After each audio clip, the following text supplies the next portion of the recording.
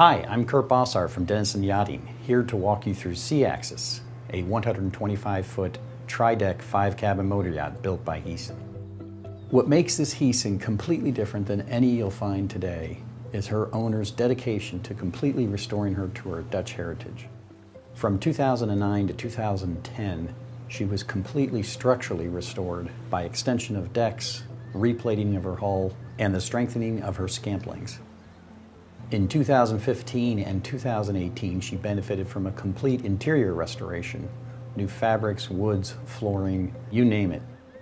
And now, just over the last four months, finished in June 2020, she's had a complete recertification by the American Bureau of Shipping. Over the next few minutes, I'm going to show you exactly what I mean and what makes this Heesen so special. Sea Axis was designed to cross oceans and take her owner all over the world, and that's something she has done time and again. With this in mind, let's start on her hardtop. Equipped with long-range radars and satellite domes, this superyacht is always in the know. These tools are mounted on a hardtop that provides shade for the sun deck, which rests directly below. Starting forward on the sun deck, we come to the first of many open entertaining spaces on board.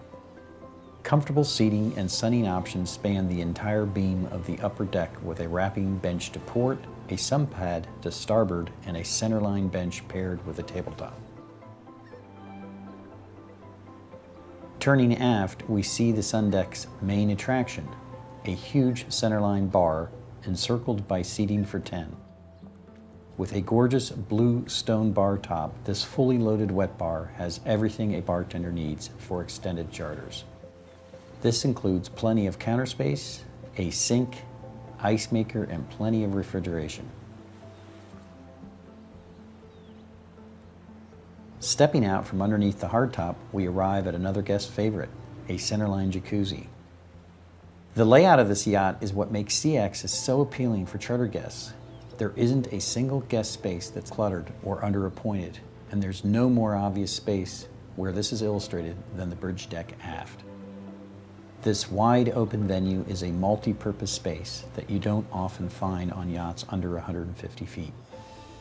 As you see it, the bridge deck aft is the perfect place for throwing ornately themed events.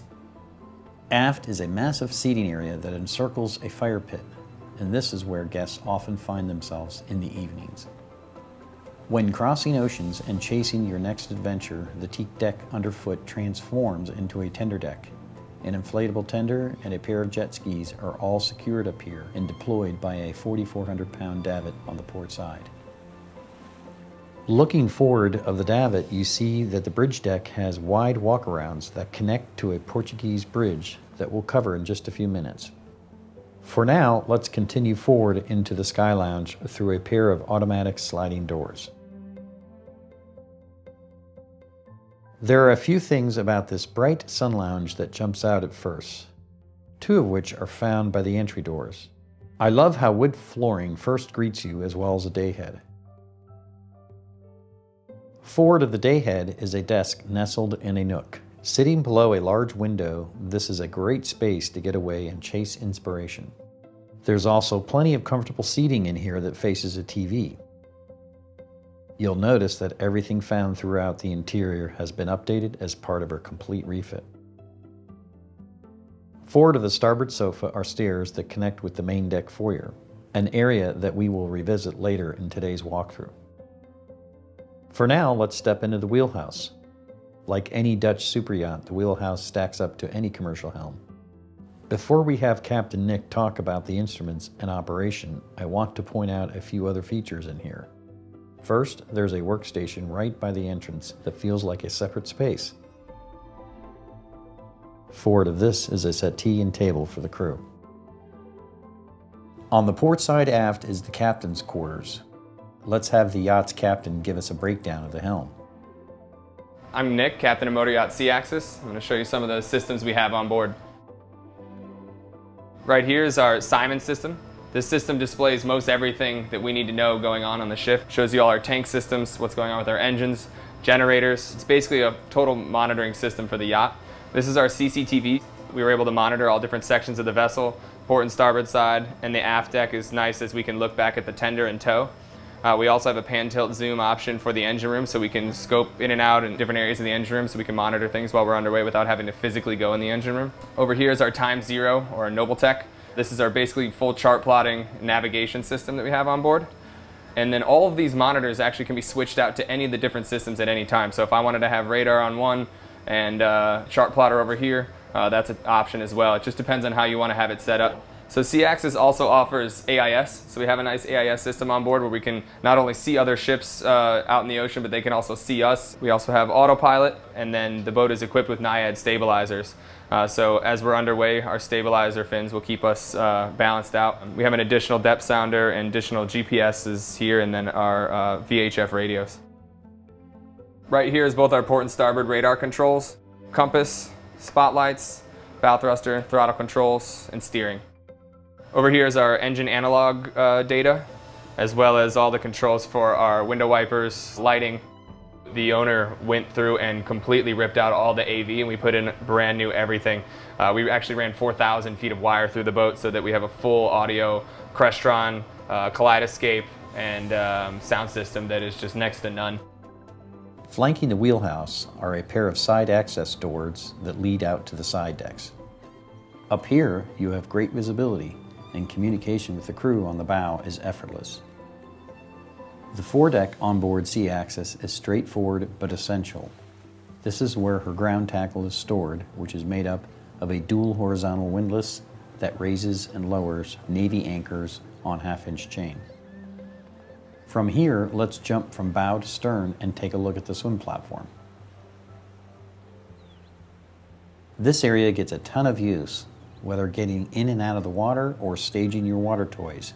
Almost every water-based activity takes place here. A teak-appointed Euro transom leads down from both port and starboard to a deceptively large platform just above the waterline. Back here are cleats for tying off water toys and your tender, as well as shore power hookups on the starboard side. Forward and centerline is a remarkably wide, watertight door that offers access into a large lazarette where the majority of the yacht's water toys, like these sea bobs and dive equipment, are stored. A few other items found in here are a commercial ice maker and a deep freezer. Passing through a watertight door on the port side, we step into the control room with a workstation for the yacht's engineer. Across from the workbench is a TrueFidge and freezer. Continuing forward brings us to a shore power converter, making it possible for SeaAxis to get power on virtually any dock in the world. Next, let's step into the engine room. The thing that immediately jumps out is how much space there is in here. Servicing the machinery is easy due to her thoughtful mechanical layout with access to all major machinery on all sides.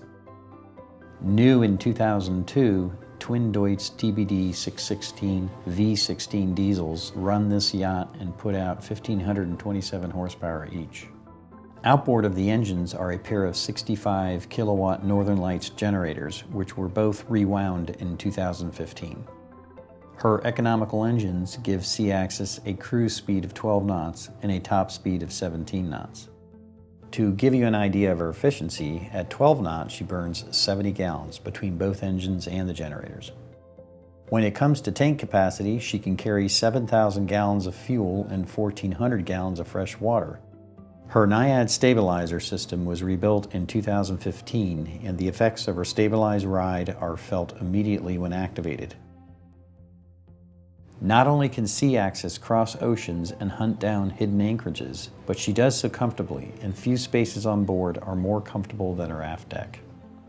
An oversized alfresco dinette with seating for 10 around a hardwood table is at the center of all the action. And there's a second molded-in seating area just aft. Looking outboard to either side are boarding doors and deck gear for tying off when you're back at the dock. A matte white overhead covers this entire area. This overhead continues forward to a pair of automatic salon entry doors and a large storage locker that offers access down into the control room. From here, let's step inside and take a look at this yacht's stunning salon. As I've already mentioned, there is nothing about this yacht's interior left from the time when she was commissioned.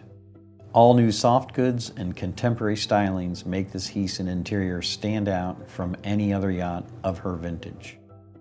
Aft of the port side is a well-equipped wet bar that services the salon and aft deck. Behind the bar, we find plenty of storage for stemware right next to the wine cooler.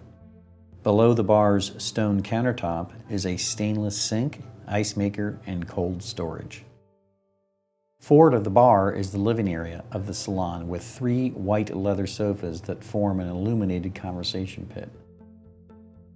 Aft on the starboard side is a set of stairs that leads down into a fifth stateroom, which is going to be the kids' favorite.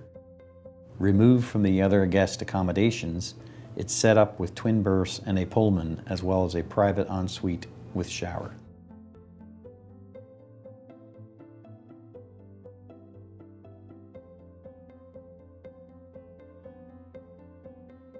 Leaving the stateroom and passing back into the forward half of the salon, we arrive at the formal dining table for 10.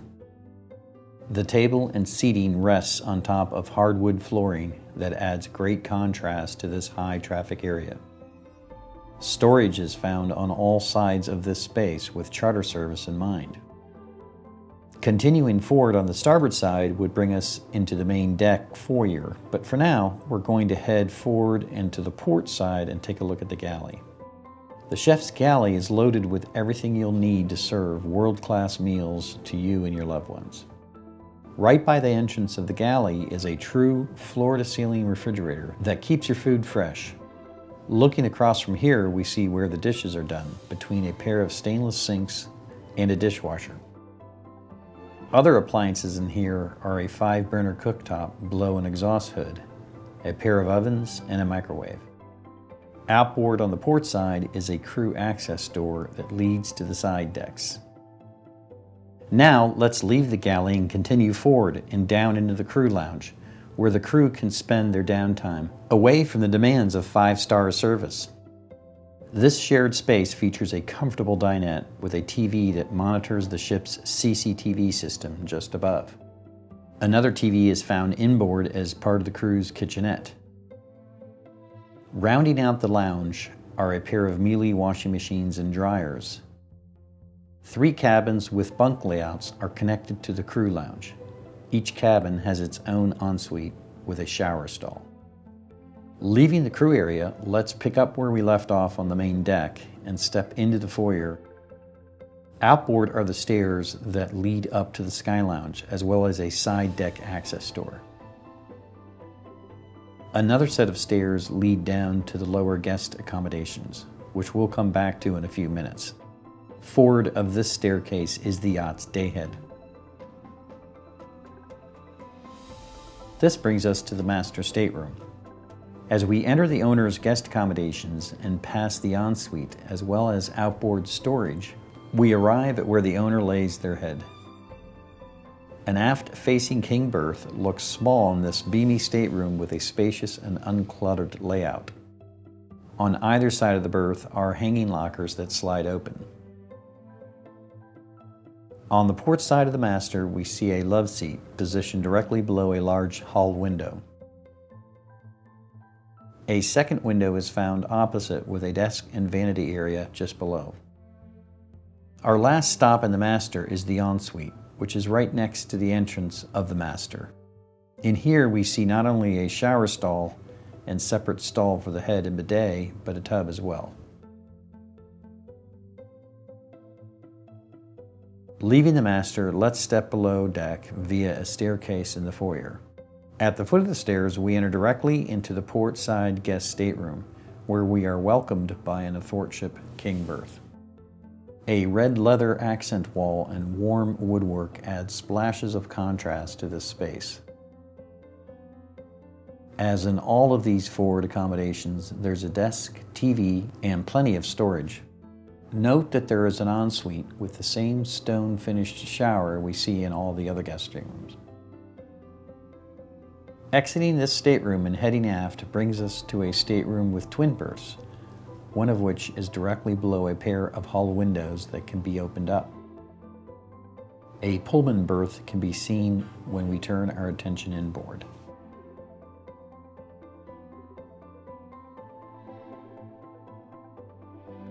Leaving here and heading to our final stop on today's walkthrough brings us to the Forward VIP. Taking up nearly the full beam of the yacht, this stateroom rivals the master on a lot of boats in her size range. On the port side is a nook with a desk below a pair of portholes, and the entrance into the ensuite can be found just aft. Over on the starboard side of the berth is a plush love seat as well as a walk-in closet.